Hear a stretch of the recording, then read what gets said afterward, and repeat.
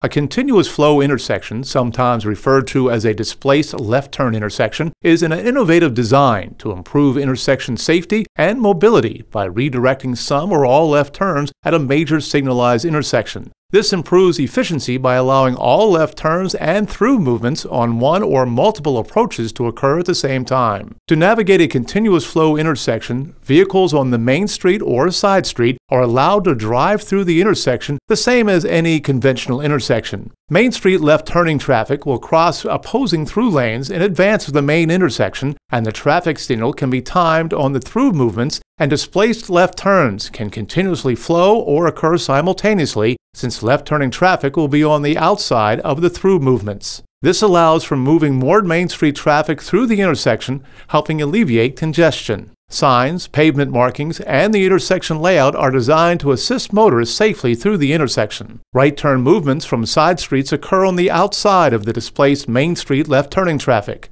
Bicycles and pedestrians navigate continuous flow intersections by using pedestrian signals and pavement markings across the main intersection. Continuous flow intersections have been installed in many locations across the United States and have been proven to help improve safety and operations of congested signalized intersections. Left turning traffic has also been relocated to reduce conflict points.